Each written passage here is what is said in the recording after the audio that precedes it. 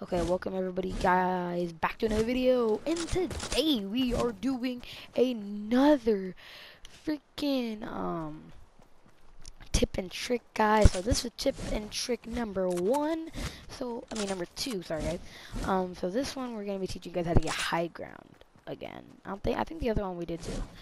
But this one's I think a little better than the other one. The other one was kinda bad, maybe.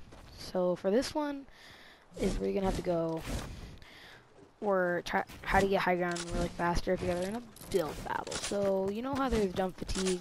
Well, what you have to do is when you're about to crank a 90, don't jump. You gotta just like that, and then you know jump on the other two, and then that's another high ground advantage because the other person's gonna try to do 390, but then they're gonna have jump fatigue and they're gonna um you know go slow. But for you, it's okay because you know you can um go like this, this, and then, you know, jump for the other ones. And then you'll get instant high ground. So, um, that's my tip and trick for today. Hope you guys enjoyed the video. Um, hit, hit, make sure you hit the like button, hit subscribe button, and thank you guys for watching the video. Peace.